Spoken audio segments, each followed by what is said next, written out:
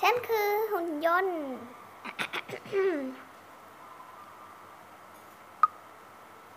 สวัสดี ฉันคือหุ่นยนต์หน้าตาคล้ายมินนี่ที่สุด แต่เจ้าของเจ้าตัวยังไม่ตั้งชื่อให้ฉันเลย ไอ้บ้า ดูโฉมหน้าแล้วสบายใจหรือยังล่ะฮิฮิฮิฮิฮิอะอะอะอะอะอะเดี๋ยวพวกเราจะมาดู ฉันแคสเกมนะ เราจะแคส เกมสนุกกว่าได้เจ้าตัวอีกต่างหาก